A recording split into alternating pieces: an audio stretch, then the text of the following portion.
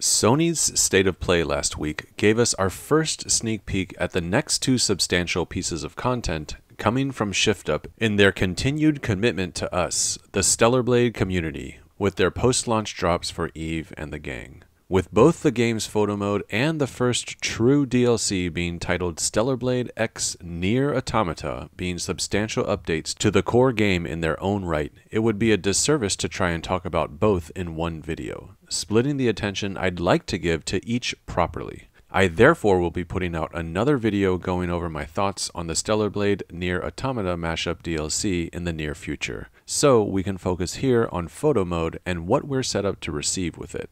Let's jump into the breakdown properly with Stellar Blade's upcoming photo mode. The preview showed us two different locations where photo mode was activated, one outside Spire 4 at Raphael Space Center and one inside of Xion. In the first segment, with Eve outside Spire 4, going left to right across the photo mode UI, we see the tabs for the digital camera, the camera shutter, display, decorations, characters, and lighting. What I want to talk about first is the Characters tab, as we can see that we're going to have a handful of ways in which we can customize Eve and some of the other characters from the game with some great looking body poses and facial expressions. Starting at the top, there is the option to toggle what appears to be a maximum of four character options plus the drone. Eve, Adam, Lily, one more character titled Other Character, and the drone can all be displayed or removed from the field of view. Now, it would be great to be able to jump into photo mode at any point in the game and place these characters in and around Eve in their different environments at will, but unfortunately, I'm almost certain that's not what is happening here. Upon looking at the user interface, we can see only Eve, the drone, and the other character options are highlighted. Adam and Lily are grayed out. That's most likely because only Eve, the other character, and the drone are currently in the field of view. In addition to Eve and the drone, there are droid Naytibas walking around outside the Raphael Space Center. The droid Naytiba would be the other character within the field of view if the field of view is pulled back far enough. Right now, we simply cannot see the droid Naytiba. So what I'm guessing is only characters that are in the field of view at the moment of jumping into photo mode can be toggled to be displayed or not meaning the ability to insert Adam or Lily into this photo would not be an option because they are not with Eve in this moment of the game's story. Thinking back to Stellar Blade's campaign, Adam is currently riding his hoverbike back to Xion, and Lily is in the tetrapod piloting the drone. To add further evidence of this, if we move forward into the next example with Lily and Eve, these two are able to be grouped in Xion because there are several moments in the game when Adam and Lily walk throughout Xion at the same time Eve does. So as Eve, we would simply walk up to them, wait until they're a preferred proximity to us, then jump into photo mode. If this is the case, I get it, as photo mode is accessed while we are controlling Eve, so it makes sense that whoever is within proximity to her will be able to be within the digital photograph taken. However, I do want to push back a little bit because I think this is a huge missed opportunity. One of the coolest pieces of promotional images ShiftUp put out was this image with Eve, Lily, and Tachy grouped together holding up the number 1. It was released once Stellar Blade dropped in the United Kingdom as the number one selling video game that week. I first saw this photo a few months ago and I thought it would be so cool to make group shots such as these in the photo mode that was spoken of when ShiftUp went public with their IPO.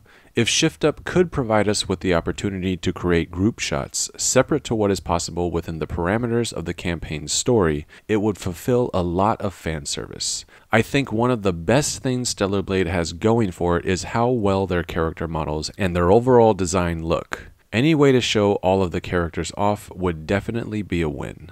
Having a special photoshoot space where we can position together some very unique character groupings would go a long way for the community. Pairing together characters that never met in the main game, think of Lily and Tachy, or having a grouping of all three battle angels of the game, Raven, Eve, and Tachy, grouped up would make for some truly amazing shots. Now, I want to divert from Stellar Blade for a moment because just a few days ago, the Death Stranding 2 team was giving a presentation at what looks like some convention.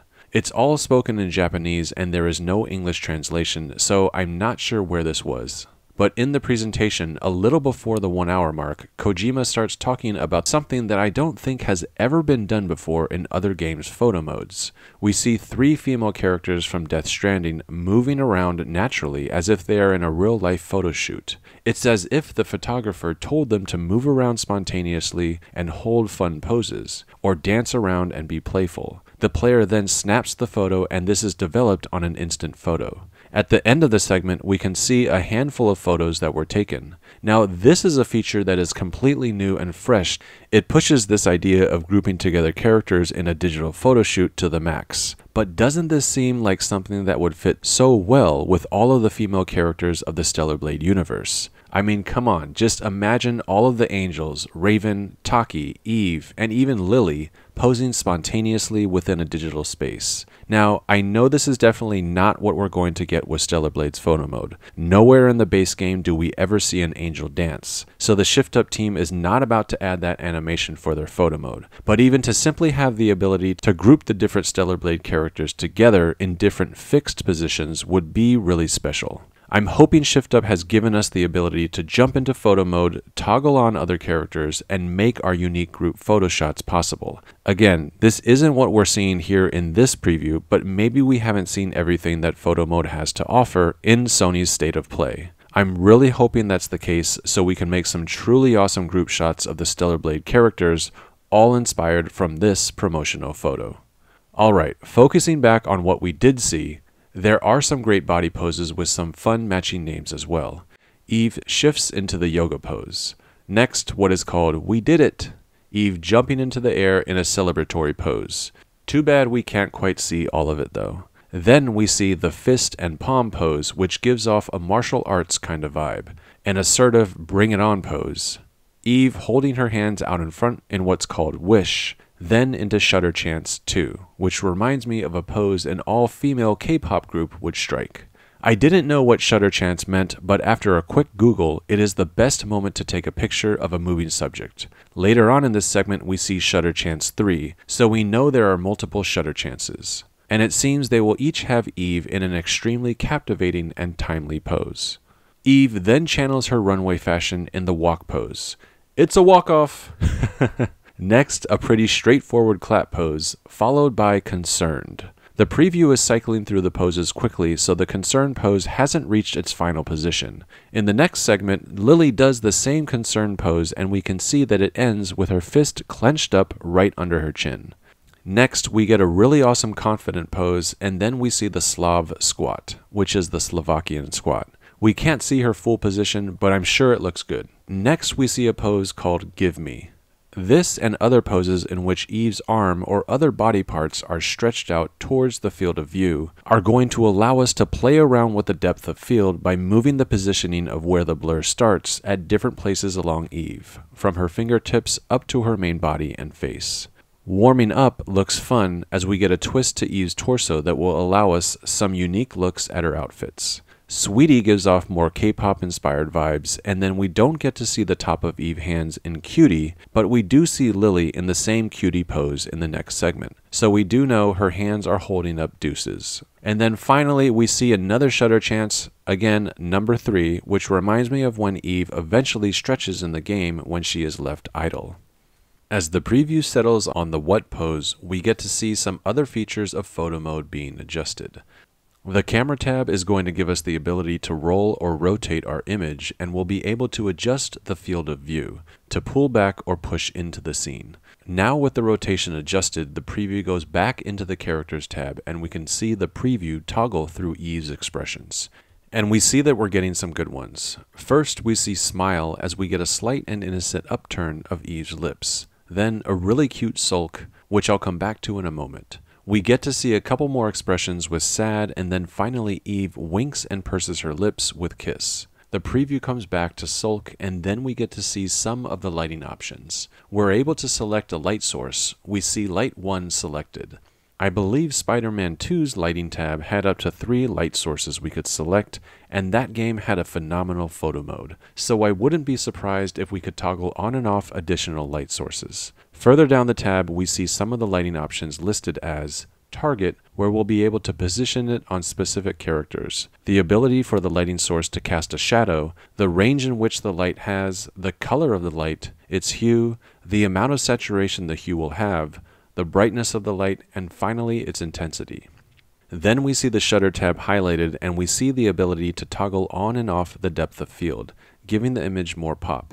It is adjusted further as the preview continues. The next tab we see fiddled with is the display. We'll be able to toggle on and off HDR, adjust the exposure, contrast, saturation, hue, then adjust hue intensity once a particular hue of your liking is determined, and the brightness.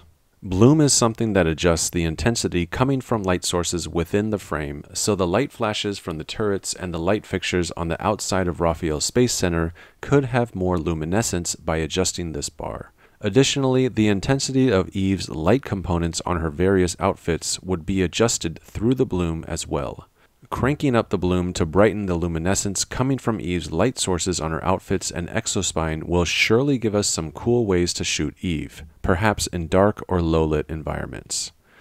Under that, we see a sharpness bar that can be adjusted, and then a filter can be put on the entire image or specifically on certain characters. We can see how this works in the next segment with Lily and Eve, so I'll talk more about filters in a moment. Underneath the filters, we see zoom blur and a matching intensity bar, followed by dithering, chromatic aberration, and film grain. All three techniques will allow us to add more of an artistic flair to our digital photographs. Then we jump into the decorations tab and we can see a number of different frame options, including some decorative frames and different aspect ratios for a more cinematic look. Moving on, we don't see logos until the next Lily and Eve segment, but the final decoration option we see adjusted is the vignette. The photo is taken and we see the end result, this playful shot showing the impending doom of the three turrets locked onto Eve, ready to obliterate her.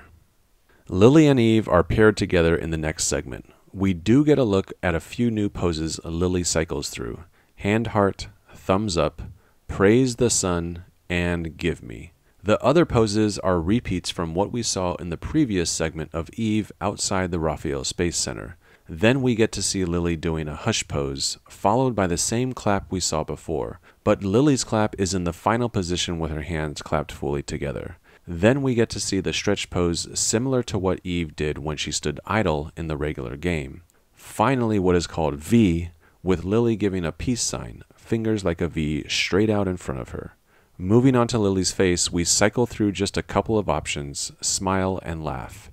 The facial expression options are definitely going to bring a lot of life to the photos. Before adjusting their expressions, Lily and Eve definitely looked like they were channeling their inner mannequin, as their faces looked incredibly still. Next, we see Eve selected, and we cycle through a few of the same poses confident, stretch, clap, and walk. Then we see a new one, salute and then one that we saw Lillian, but not Eve yet, with her hush pose. Both characters are toggled to look at the camera, and then we shift back to the Decorations tab. The logo options have a mix of both official branding with the Stellar Blade logos and some in game universe signage. It's cool to see the Freedom Liberation Alliance, Digger's robot dog Spotter get a sign, a fisherman and the Oasis logo that Clyde would no doubt be proud of, the fishing rod that makes the circular arc in the upper left corner is a great touch too. Barry gets a sign for his fish and wine stand. The treacherous Arctech facility gets a logo, followed up by one of the soda brands from the various cans we can collect. This one is called Cryo Original, and then finally ending with the signage we see when entering Xion. A few more adjustments are made, including exposure and depth of field, until the preview jumps back into the display tab and the filters are seen being adjusted. We see some really nice ones and even some that I haven't seen in other photo modes. Ash is the first and a great standout one, followed up by a moody looking nostalgia filter. Then next are the usual suspects of photo mode filters with cool, warm, and vivid. Then we get a unique feature in which the filters selected for the entire photo can be toggled on and off for each individual character, creating a little more pop to the photo. Some final minor tweaks are made and then the photo is snapped. All right, so what am I looking forward to most, and what are some lingering questions that I have? Well, they go hand in hand. One thing I am really looking forward to about photo mode is having the ability to move the camera around Eve in an orbit to finally uncover all the secrets of her outfits. Eve's drip has some really intricate details and design features, and some of the outfits even have story related text, content, and Easter eggs in sometimes difficult to see placements along Eve's body. Wave 2's alternate outfit has this funny looking rabbit logo on the back of one of Eve's cheeks, and the black wave has text written on it, the Eden Protocol, that some in the Stellar Blade community have theorized hints at the story direction of future sequels. There's quite a bit more text written on other various outfits that photo mode is finally going to allow us to check out from the right angle. I actually spent a good amount of time trying to uncover everything about Eve's outfits already to help me piece together Stellar Blade's lore for some of my story related videos, and it's pretty difficult doing so in game. You can see me here trying to rotate the camera behind Eve in her Wave 6 outfit, and it's quite frustrating to try and read the circular text on one of her cheeks as the text is too small and I could never get the right angle without pushing the camera through the wall or other objects. And while in the game's menu, we're not able to push the camera in far enough to fully read the various texts that are on Eve's nanosuits. With photo mode, we should now easily be able to jump into it, swing the camera around Eve to look at all of the outfits from every angle, and learn more about the lore of the game and perhaps uncover more Easter eggs and influences the Shift Up team pulled from for all of Eve's outfits. Now, this is going to be a great opportunity for Stellar Blade lore and story enthusiasts out there. However, I have to talk about another reality that photo mode is likely to bring about, and that is related to the types of images that are inevitably going to surface due to the compromising angles that Eve could be subjected to.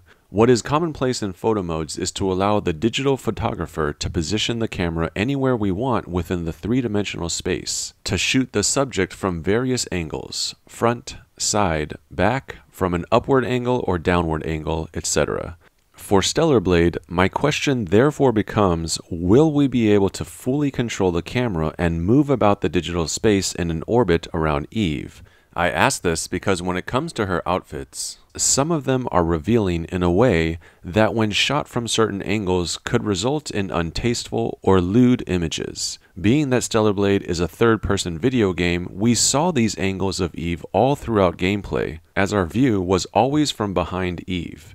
It was just simply part of the game's DNA, and even explained through the game's lore, with Tetrastar's Galaxy Allen being a fashion designer. Several of the polymer based nanosuits he designed were part of his Exotic Sense collection. I know the Stellar Blade community is primed to be able to shoot Eve from any angle in photo mode, but I would not be surprised if there is some type of limitation. Perhaps we cannot shoot upward if we are underneath Eve, which would maintain an overall tastefulness to the photos. However, in the second segment where Eve and Lily are adjusted, when the game goes into photo mode, we see one frame change where the camera does rotate from a side to a frontal position. So this tells us we are going to be able to rotate the camera, but we just don't know how far. We never see the camera move on the horizontal axis more than this one frame jump. So the confirmation of an unlimited ability to move around Eve in an orbit is inconclusive. I'm really thinking we're going to have carte blanche and be able to move the camera within an orbit around Eve in any way we like.